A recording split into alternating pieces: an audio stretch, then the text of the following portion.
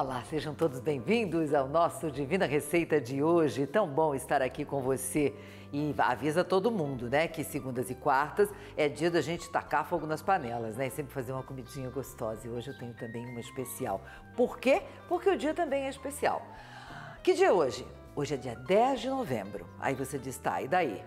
Por que, Olga, você está separando especialmente esse dia né, do calendário? Porque hoje é o dia de um dos alimentos incríveis. Eu, pelo menos, amo. Eu tenho certeza que você. Tá, é difícil encontrar quem não goste de pão, de trigo. Isso aqui, hoje é o dia do trigo, sabia? É, e eu quero te passar algumas coisas a respeito dessa cultura incrível que é a cultura do trigo, minha gente. É, a cultura é uma das maiores do mundo, sabia? Atrás apenas do milho. E acredita-se que tem a sua origem na Ásia Central, China, Índia. É, Estados Unidos, então, Estados Unidos, Rússia, eles são os maiores produtores do mundo. O Brasil, infelizmente, eu digo infelizmente, né? Ainda importa 40% do trigo que nós consumimos. E é o segundo tipo de alimento mais consumido no mundo, esta maravilha aqui, o trigo. Eu vou te falar depois sobre as propriedades do trigo assim, ó, em grãos. Já já vou te falar. Presta atenção, porque essa receita é maravilhosa.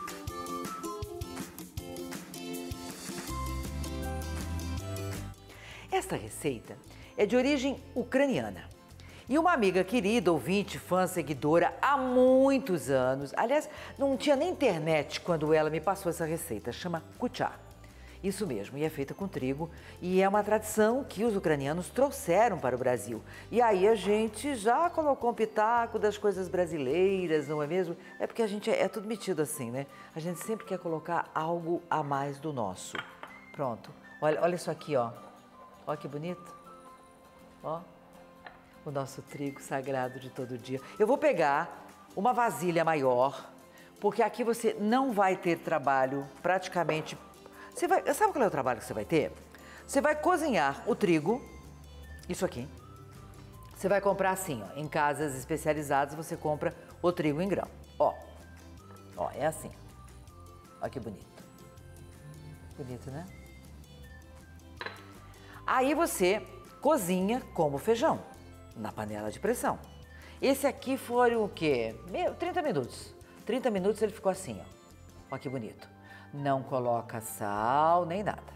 Aí você coloca. Esse aqui eu dei, eu dei uma, uma, medida tão certa que eu, eu, só tinha ele no pote. Eu despejei, despejei tudo na panela de pressão e coloquei água. E deu bem certinho. Quando eu terminei de cozinhar, tava sequinho.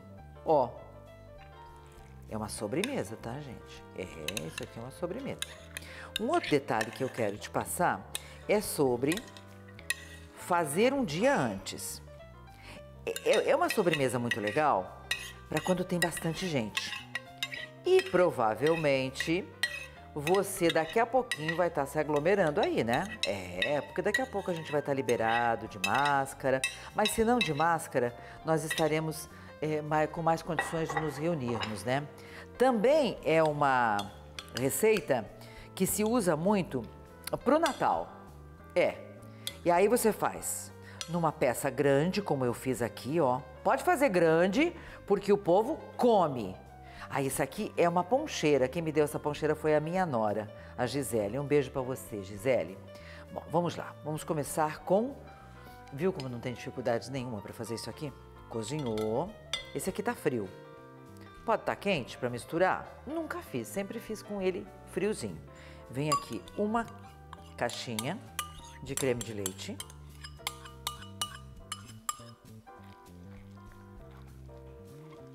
Eu costumo fazer assim, ai, ah, joga tudo, depois mistura. Eu prefiro, sabe, ir misturando um de cada vez. Ah, e lembrando também o seguinte, gente. É, aqui. Não pode cozinhar demais, tá? Porque se cozinhar demais, ele vai desmanchar todo e não fica legal. Não tem erro. E você pode fazer bastante porque o povo vai comer. O povo vai repetir.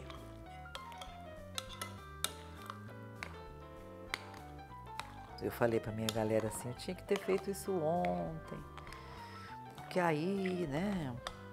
Hoje vocês poderiam comer. Vão comer? Vão, mas não é igual, sabe? Não é igual. Ó, uva passas. Pretas. Ai, eu não gosto. Ninguém gosta aqui em casa. Não põe. É simples assim, ó. Aqui tem mais ou menos, pela quantidade que eu tô fazendo, tem mais ou menos umas 100. 100 gramas, é. Acho que eu vou colocar tudo, porque tem bastante, né? Tem bastante trigo. Aqui tem o equivalente a duas xícaras de trigo cru.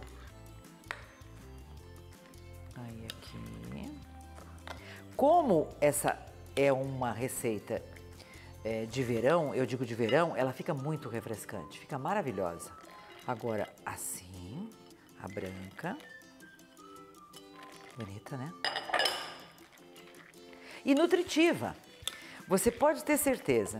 Esse é o tipo de receita que você come um potinho e ela, ela te sustenta, porque o trigo sustenta, né? O trigo mata a fome. Aliás, deixa eu passar mais algumas informações sobre o nosso trigo. É bem bacana você começar, se você não consome trigo assim em grãos, presta atenção que vale a pena você, né? Segundo especialistas, nós temos 12 eh, mil, de 12 mil a 30 mil variedades de trigo no mundo.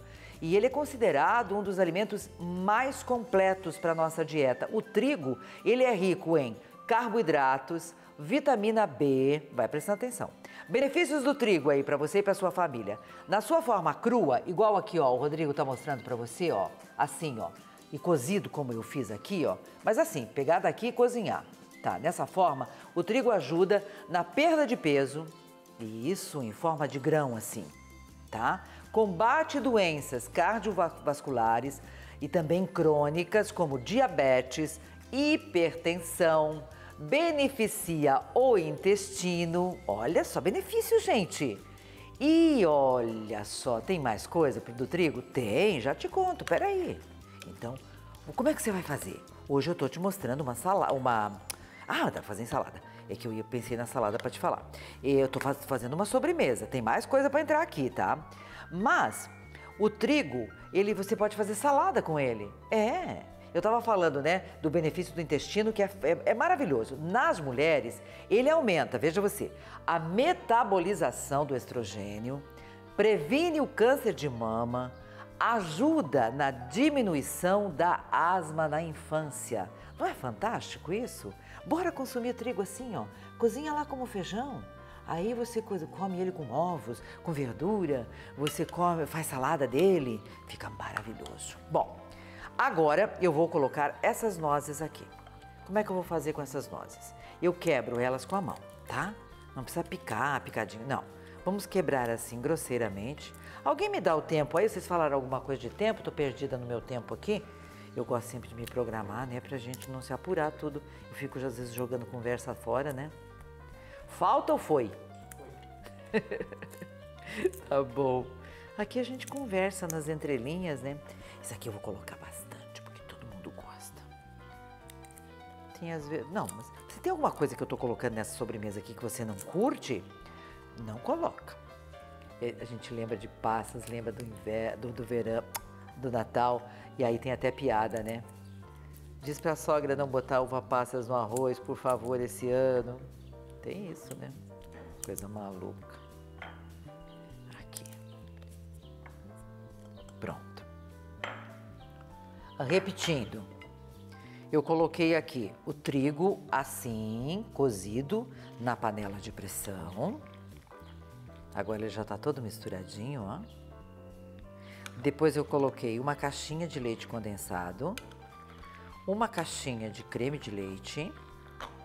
Ah, e um detalhe, ele deve ser consumido gelado, porque ele é muito gostoso, mas gelado, tá? Aí deixa eu pegar aquela outra colher. Ó, sobrou um restinho aqui de, de, de leite condensado. Não apareceu ninguém aqui, né? Não apareceu ninguém.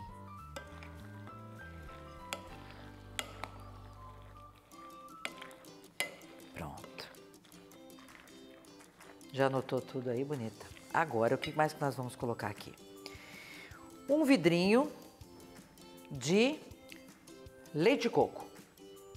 Quanto que tinha naquele vidrinho? Alguém lembra? que tem vidro de tudo que é tamanho. Mas é o menorzinho, tá, gente? Ó, Rodrigo, que bacana. Legal, né? Você vê que ela fica uma sobremesa bem úmida.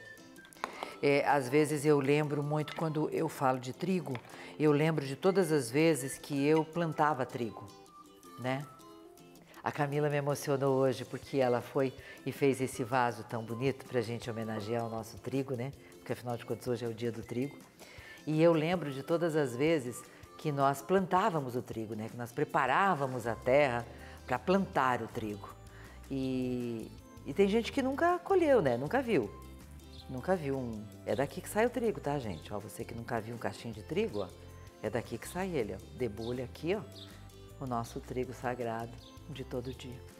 E lembro de um episódio que eh, não tem como eu esquecer, de um temporal. Santa Catarina sempre foi uma terra de muitos temporais, você tem visto aí nas notícias. E a gente estava com uma das roças mais lindas, nós tínhamos 10 alqueires plantado de trigo. Então é aquela coisa assim do homem do campo quando diz assim, poxa, esse ano vai ser legal, né? Porque a colheita do trigo vai ser boa e vai sobrar um dinheirinho, né, para a gente pagar as contas. Porque no campo a gente paga uma dívida e já faz outra, ainda mais quando tem safras frustradas. E aí veio um temporal, um dos piores que Santa Catarina já viu. E o trigo que estava em pé, pronto para ser colhido, ele simplesmente deitou. O vento veio e jogou tudo por terra.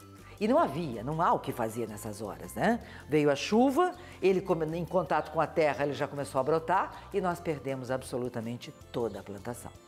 Aí o meu pai subiu até a roça onde tinha o trigo. E todos nós choramos muito nesse dia, porque era mais ou menos a salvação da lavoura, seria, né? Aquele trigo. Não foi. Acabou tudo. O nosso pão sagrado. E aí, uma coisa que eu quero citar também, naquela época, quando a gente tinha contato com pão branco, era um luxo, né? Farinha branca, era um luxo.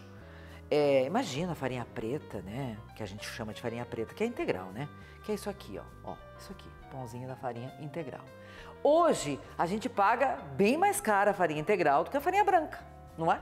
E hoje a gente sabe o que é informação, né? O que é educação. Hoje a gente sabe da farinha, os benefícios que ela tem, né? Bom, gente, aqui temos abacaxi picadinho. Você pode dizer, eu posso substituir? Colocar outra fruta? Pode. Você gosta de pêssego, por exemplo? Coloca o pêssego, daí também você pode colocar até a calda do pêssego aqui, tá? Eu, como prefiro a fruta in natura e não é, em lata, é isso. Bonito, né? Gostaram? Ficou bonito aí, diretor? É isto. Isto é o cuchá. Agora eu vou pegar a própria xícara da minha poncheira que eu ganhei da minha nora e você pode servir aqui, ó. Ó. E pode se preparar. Deixa em cima da mesa assim, pode deixar. Que o povo vai lá, come, repete. Deixa eu ver como é que ficou o sabor. Hum. Hum.